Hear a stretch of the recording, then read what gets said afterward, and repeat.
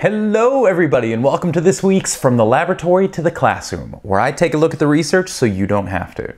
Now this week the article I've selected is The Power of Feedback Revisited, a meta-analysis of educational feedback research by Wisniewski, Zierer, and yes, the man himself, John Hattie. Now to wrap our heads around this article, there are three concepts we've got to clarify. The difference between research, meta-analysis, and meta-synthesis. So let's start here, research.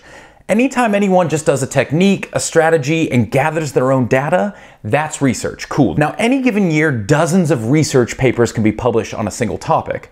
So what a meta-analysis does is it comes by and it pools together a bunch of individual research studies and kind of says, here's what they mean together as a whole. So a meta-analysis isn't research itself, it's just taking research and saying, here's kind of the bigger picture. Now, a meta-synthesis does the same thing with meta-analysis. So a meta-synthesis takes together a bunch of different meta-analyses and says, here's kind of what they're all saying together as a whole. So even a bigger picture. Now, why does this matter? Well, if you know anything about John Hattie and visible learning, all of his work is meta-synthesis. So he doesn't do actual research, he doesn't do actual analyses, he does analyses of analysis. Now, this isn't a bad technique, but it does come with issues. So any meta-analysis can pull any studies at once, which means when you do a meta-synthesis, there's a really good chance the same exact study is gonna appear multiple times in different analyses. Meaning when you do your big meta-synthesis, you're actually analyzing the same exact data set time and time and time again and giving it more and more and more weight.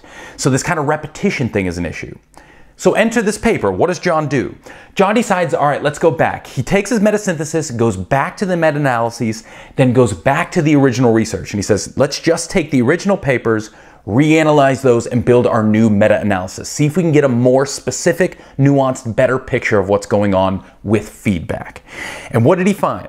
After doing all this new original analysis, they find that whereas originally visible learning had a, an effect size for feedback of 0.73, which made it like the 10th most powerful thing on his list. When they did their reanalysis at a deeper, more nuanced level, that effect size dropped to 0.48, which would only rank around 52 on Hattie's list. Now, A, this should already give you a good sense of how silly ranking and listing strategies are. If feedback would be 52nd, Yet feedback is something we all know is one of the most important things we can do. Mm, starts to beg questions.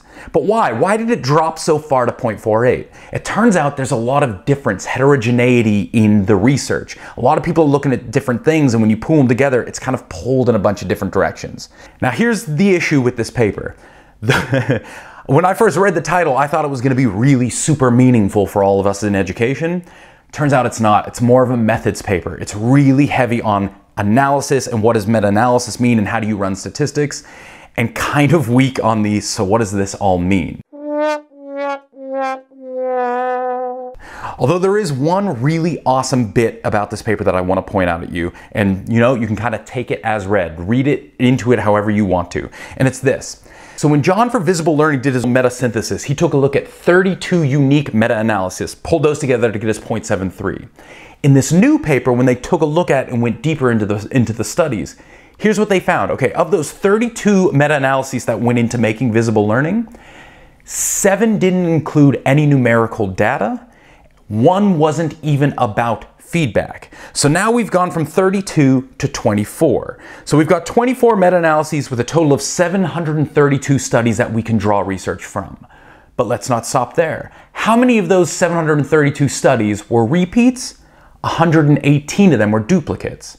All right, so now we're looking at 614 original studies we can analyze. But wait a second, 70 of those studies actually have nothing to do with education. They look at feedback and non-educational, non-learning realms. Okay, so we gotta ditch those. That brings us to 544 studies, of which 109 report no numerical data, which means at the end of the day, we're stuck with 435 articles. Now, don't get me wrong, 435 articles is awesome.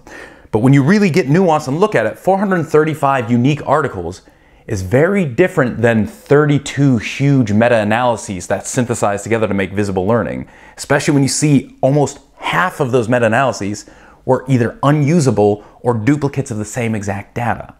So this is why nuance and getting down into the nitty gritty is kind of important. It shines a new light on what other people are doing, and it helps us make better sense of contextualize what visible learning and all these other research projects might be.